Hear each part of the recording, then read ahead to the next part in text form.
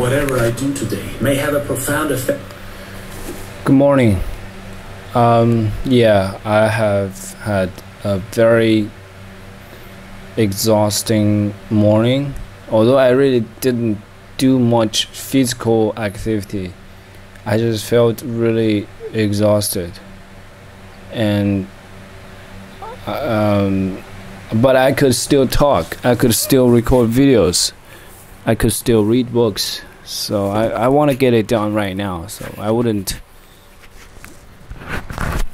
So I could gain that psychological age that I have accomplished something.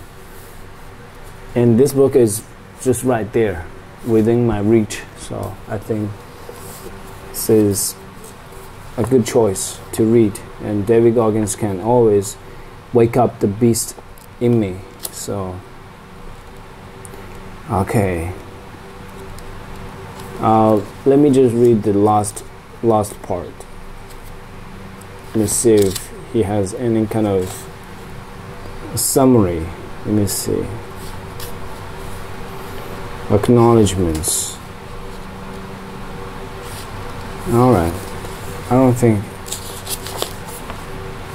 Oh, there's nothing like that. I'll read the acknowledgements. This book was seven years in the making, with six failed attempts along the way before being introduced to the first and only writer who truly understood my passion and captured my voice. I want to thank Adam Skolnick for the countless hours spent learning everything about me and my fucked up life to help pull together all the pieces and bring my story to life in print. Words can't express how proud I am the truthful vulnerability and raw candor of this book. Jennifer Kish, I do not have the words. A lot of people say that, but it is the truth. Only you truly know how hard this process was for me to pull off, and without you by my side, there would be no book at all. It is because of you I was able to take time off of writing to go fight fires while you took care of all the business behind the book. Knowing I had to Kish in my corner enabled me to make the very bossy decision to self-publish.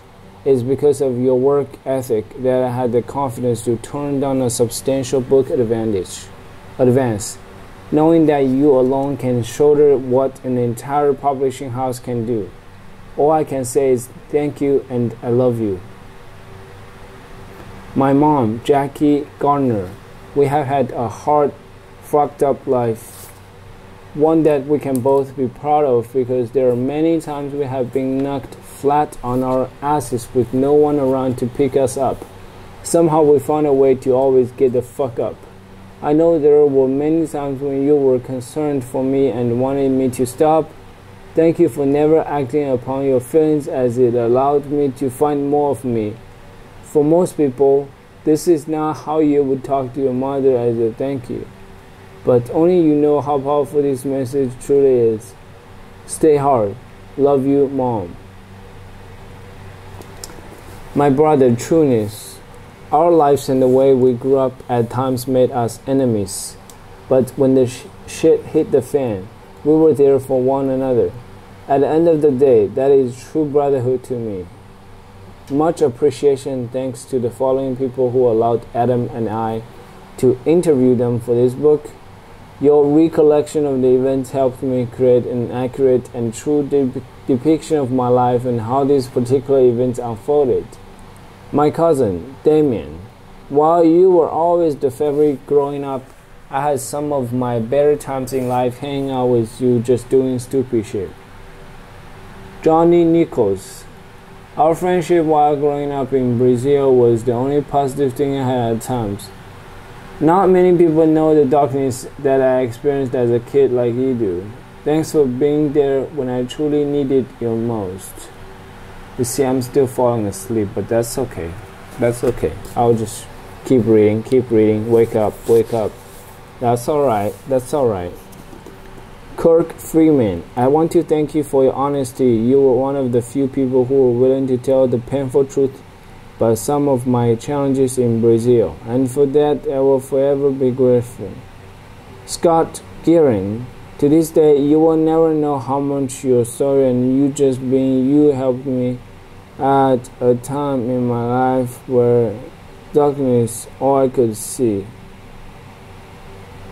You have no idea that the impact the impact you had on a 14 year old kid. It's a true saying.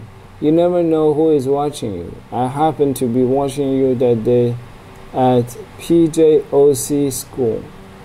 Grateful for your friendship after all these years. Alright man, I'm I'm tired as fuck. But I've read I've read five minutes now, so I'm taking a break. I'm taking a break. I don't even want to go take a shower. I think I could just skip shower right now I might hit the gym later, so I'm gonna sweat a lot again. So there's no point to shower. All right, it's 7:09 right now. My parents are still running. Yeah, I'm gonna take a quick nap before they come back. Yeah, bye.